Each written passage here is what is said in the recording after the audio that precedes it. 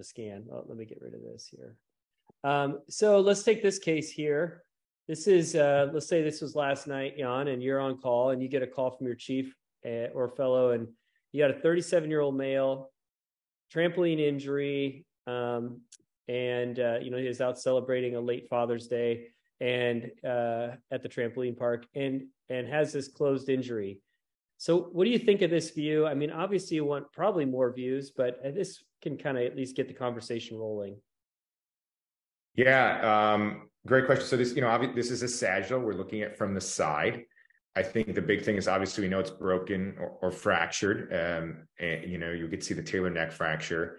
Um, and then, you know, the big thing though that I'm more concerned about, especially in the middle of the night, is that the the subtalar joint it's not reduced. So here you see the posterior facet of the calcaneus, and then here you see the part of the talus. Yeah, so you have the the fracture of the of the of the talus, which is an issue, but then you also have the the unstable joint as well. Um, so what do you tell? I mean, if what are you telling them at this point? You tell them this goes straight to the OR. No, I'm having them try to reduce this. A lot of times you can reduce this closed, at least get a better reduction of the subtalar joint. Um, so the talar body, I mean, it's not going to be perfect, but you're not looking to get perfect. It just it takes pressure off the soft tissues if you can get that uh, better aligned prior to going. I mean, this is going to the OR. I mean, it's going to get fixed. So, mm-hmm. um, you know, but I think that that can help uh, temporize things. Yeah. Any? How do you? T- I mean, when you teach in your residents, how are you telling them to reduce this? Yeah, flex flex, flex the uh, flex the knee to re- to uh, release the gastroc, and then um, you know plantar flex, dorsiflex uh, the uh, the ankle at the same time. so you know, some of the people that are um, on the call, maybe I, I don't. When I, we were residents, Jan, do you think we would have taken this to the OR in the middle of the night? Yeah, so I mean that that, that that's from Heather Vallier's a paper that showed, I, I believe it was her paper. Yeah. Um, that showed you that these are not necessarily surgical emergencies anymore. But you're right. When we were residents, that I think that I forgot what year that paper came out 14, in right 2014. Okay. So now we would not take this in the middle of the night, but you know, back then, I mean, this was almost like a femoral neck fracture. Mm-hmm. Yep, it really was. I mean, I, it took a while to kind of shift that mindset, but but thinking that you know whether it was displaced or not, or whether you could reduce it or not, that was something that needed to go urgently. And I think that practice has changed. Um, Absolutely. Thank goodness. Yeah. So, kind of the questions: what to do first, why, and how. Um, so, your approach. you you mentioned anterolateral approach. Um, you know, that's going just off the uh, kind of off the front of the fibula, and then basically towards the fourth metatarsal, kind of coming lateral to the extensor digitorum longus. Um, and that gets you a pretty good look at the at the lateral aspect of the talar neck. And then there's an anteromedial approach, um, which comes kind of along the medial malleolus and then along the medial border of the foot. You kind of want to keep it in a point, place where, if you needed to, you could always do a malleolar osteotomy uh, as well. Um, hopefully, you kind of have that all planned out, but that's the general thought um, in terms of what you're going to see for incisions. Jan, you mentioned this before, but let's let's talk about it a little bit more. Which is you're making two incisions. It sounds like for pretty much all talar neck fractures. Yes. Yeah, yeah, and and so can you talk us through why you're always making two? Why not just make one if you have a have a good a visualization of that? Yeah, great question. I mean, they, they do this in a kind of pretty well known like AO lab, you know, I think for residents and so forth. Uh, but it's the talus uh, just because it's a three-dimensional anatomy you can get one side looking almost perfect and then if you actually look at the contralateral side so if you get the lateral side looking great and you think you're you know you think you're well reduced if you actually expose the medial side you'll see how far off you are and vice versa mm-hmm. and so it's kind of like you always want a, a you know multiplanar uh, you know, or or orthogonal films, right? Like there's always those memes that they show you where someone looks like they're, you know, uh, giving someone the bird, uh, yeah. but they're actually actually not. Or sitting I, on the it, toilet or something. Yeah. It, it, so I liken it to like that. You just want multiple views, and, and the talus is one of those um, bones that are it's easily malreduced. Yeah, I think that's a good point, and and we'll talk a little bit more. You know, I'm going to do an oversimplified fracture here, but what oftentimes happen is is the ankle gets uh, is is the force is inversion and dorsiflexion, and so what you see is comminution on the medial side, and in an ideal situation, it's a relatively clean fracture on the lateral side and then more comminuted on the medial side. And the reason this is important, kind of going back to this idea or concept of dual incisions, is that if you just fix it on one side, you can, the tendency is to shorten that medial side. Um, and so that, what that does then is it leaves you short on the medial side and leaves a foot in varus, which, you know, if you're lucky enough to not get arthritis and not get avascular necrosis, the last thing you want to do is then leave them in varus.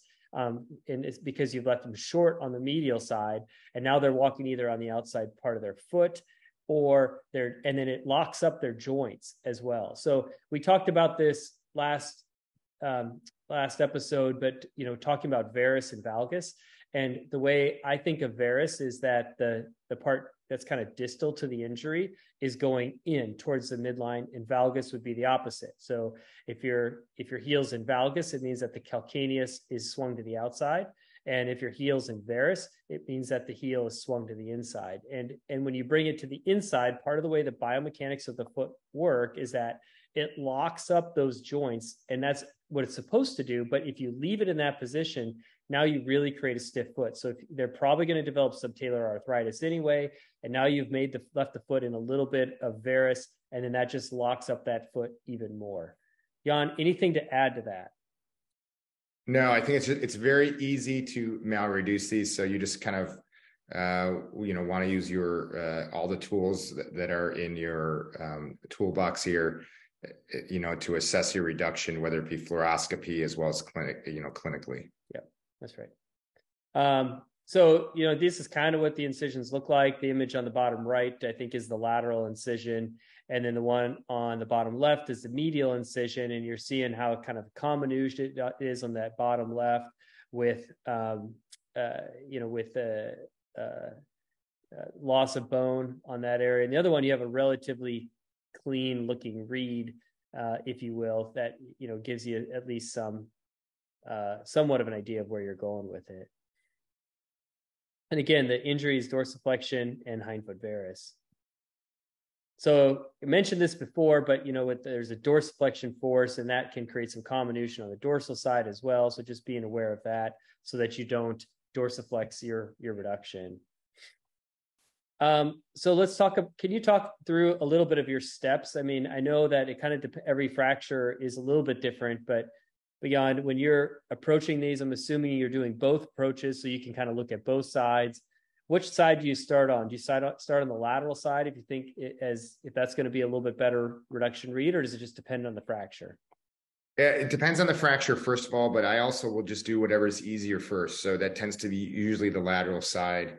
But I, am a big believer of doing what's easier uh, and getting a good read, and then building off that. So usually laterally, and this is where I use a lot of times, you know, the fracture specific plates. So I, I like to use a talar neck plate. Um, not all the time, but I do uh, have gone to using them. Uh, you know, I would say the majority of the time. Sometimes I will cut a mini frag plate though if it doesn't fit, if the pre-contoured plate doesn't fit. But especially for the comminuted fractures, I like using a pre-con pre-contoured, uh, you know, some whatever company specific plate uh, just to build off because then at least I have a template. Yeah. Now, um, that those pre-contoured plates, what sizes are those usually? I'm assuming that's usually what 2024 or something like somewhere. I, I believe they are. I mean, I, I think they might up go up to two seven. I think that maybe the Synthes one does, but I think they're usually around two four. Yeah, two four, and I think it's just you know you you don't need a lot of strength here. It's more just um, you know you need something to help hold the reduction so it's not like a t- you're it's not like you're trying to plate a tibia or a femur so if you um, have somebody that's prepping for this this case they know that's a talar neck fracture um, and you know it obviously clearly you need a lot of k wires maybe depending on the trained but clearly you need a lot of K wires. And so kind of all the standard four, five, six twos, maybe a 2.0 if you use it as a joystick uh, to help kind of uh, dial in your rotation. Um, and then um, and then having the mini frag plates is important. And then if you have fracture specific plates, that's helpful as well. Uh, and then screws as well. Like let's just say, you know, in addition to the plates, you want some screws available. Yeah, I use small screws 2.0, 2.4, maybe a 2.7. Mm-hmm. Um, the one thing that I've been using more and more in the talus is um, sometimes uh, like you know the bio uh, absorbable screws okay. or pins mm-hmm. because uh, you know you you tend to many times have a little bit of collapse and it's similar to the case that you posted i think it was today or yesterday online on linkedin uh, where you had a talar body fracture mm-hmm. and the I, have seen a lot of those that like they heal they tend to heal I, I, that's not the issue but there's sometimes a little you know collapse. So where that screw you thought you sunk into the cartilage mm-hmm. um, is now a little bit more prominent and removing those at a later time are it's much more difficult. Um, so i think some of these bioabsorbable screws and pins and and so forth from different companies I, I think there's a few different manufacturers now. I think they could be a helpful tool for this. You ever use those um there's those bone uh, the, I've not used that particular. I've used the OSSIO ones. Yeah, yeah, that's what I mean. Yeah. Oh, yeah, because there's another company too. Because um, I don't know, it's like they, they call it like the shark bone or something. Um, oh yeah. I don't know. I I've seen it on I've seen it on LinkedIn, but anyways, yeah, I, I have used it a couple times and I've been happy with it. Yeah. Um. Okay, so uh, let me go back wasn't done with that thought, I don't think. So we got the um, so your lateral approach is probably going to be best for your direct reduction. The medial side is going to be sometimes a little bit more comminuted. Uh, sometimes they're both comminuted, and it's just it's hard uh, to get. Um, we talked about this a little bit already, um, which is uh, you know mini fragment plates as fracture specific plates and then um, and that's been been well described. In this case, it looks like it was a, probably a two four. I'm guessing based off of the size of those screws, two four plate on the lateral side. Um, can you talk a little bit about your intraoperative X-rays, Jan? Here we have what we you know refer to as a uh, view, but can you talk about using that? Yeah, I think the you know that view on the bottom, like you said, a Canale view, um, it gives you a, a, good view of the talar neck, um, and I think so that that's been very helpful. And then on the lateral view, which is right above that, uh, one of the key things, uh, once again, is um, I will look at the reduction of the subtalar joint. Mm-hmm. Um, and uh, you know also the talar navicular and the tibiotalar. I want this all to be concentric, mm-hmm. and you know because you can a lot of times I think give you give an idea if you're off somewhere if those joints are not concentrically reduced. So that's what the, those are the couple things that I'm looking at looking at particularly during a case. Yeah. Um, on the medial side, uh, you know, we sometimes we talk about using more position screws as opposed to compression screws. Is that is that how you approach the medial fixation? Yes, and you know what Nick is saying here is we we should uh, talk about the difference between those, but yeah. So these are positional screws. They're just almost they're not even lag screws. They're just screws to hold out something to length. Uh, they're just put in you know whatever if they're like you know three five screws they might be you know you drill with a two five or two six drill bit depending on the i think the you know the company. Um, and because you do not want compression as you can see here there's a little space in this bone here or in the fracture and that's probably because there's comminution. So um, but those are positional screws on the medial side. There's really very rarely can you put a plate on the medial side of the talus because yeah. of the impingement that you get um, with other structures such as like the medial malleolus and so forth. If you um, get one there, it's like two holes and it's super short. yeah, you could put a very small plate, but uh, you know most companies don't make that, right? They, but you know most companies will make that, you know, the uh, talar neck plate as you see here, um, nicely used. Yeah. Uh, so this is just another example here. I think it's a little different case, but you can see on the lateral side, I think this was actually a 2.0 plate. And then and a separate screw in the lateral process, and then position screws on the medial side. So is this your case, Nick? Yeah. Man, those staples would drive me crazy. Yeah, you know what? That was that's funny that you mentioned. Is that, that. the old Nick? No, that is actually when you do this with your partner, and uh, this is, and I think they closed. So, and and I'm curious. You know, I've seen a lot of stuff now, a little bit at least on LinkedIn. You know, being advertised or promoted is some of those, I guess, wound closure devices, not a like a wound vac, but those suture guard or oh, something. Oh yeah, the suture guard. Yeah. Mm-hmm.